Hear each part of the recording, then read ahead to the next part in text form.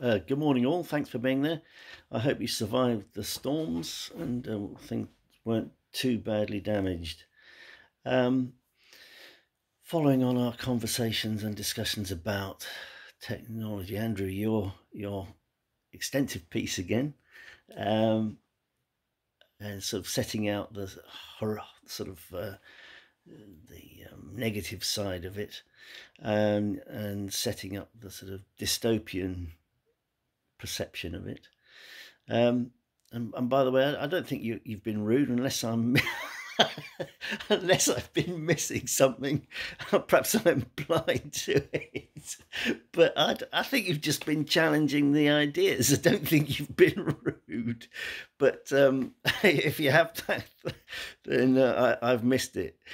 Um, uh, and I, you, I was fascinated to hear that you um, had uh, David Hockney exploring Quantel at uh, Poole and Bournemouth. Uh, I'd be interested to learn more about that and what you felt about that because that was quite a while ago, and uh, that would have been um, sort of inventive at the time.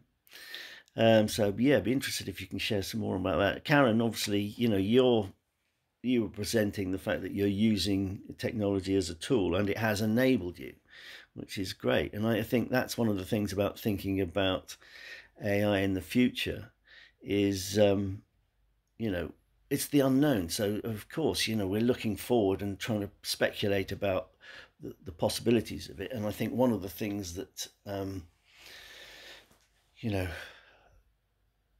endorse or sort of um, enforces the the fears is the control of it. It's the lack of control and the size of the organisations that are then monetizing it. But th- that's not really the my um, point of discussion. That's a whole different subject.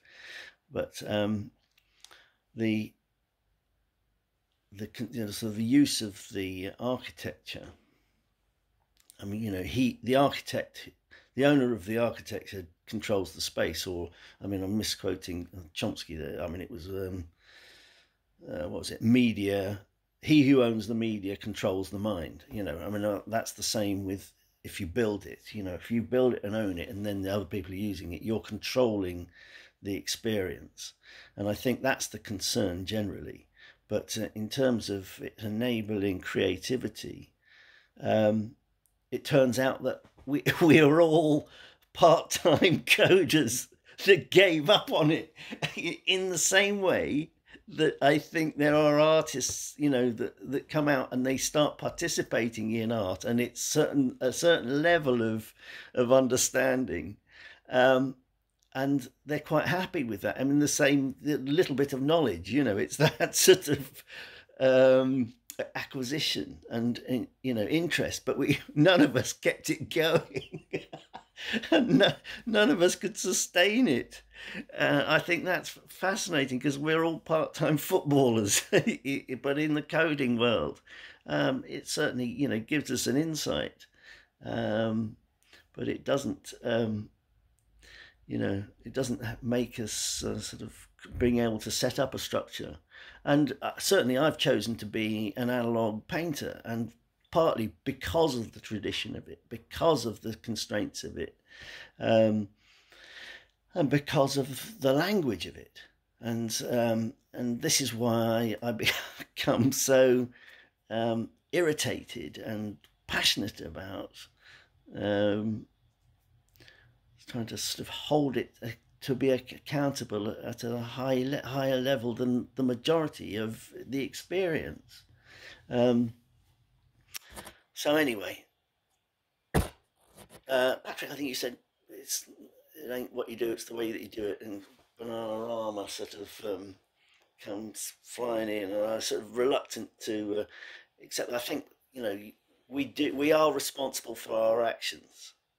You know, it's not just the style the style is significant, but um, choosing what it is you actually engage with, and you know, you know, actions speak louder than words. It's the the style of it is um, certainly a contributing factor to how it's perceived.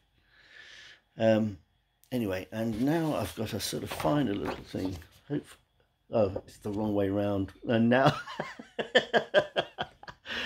Oh, Brian, what are we going to do? I'm sorry you can't hear the sound.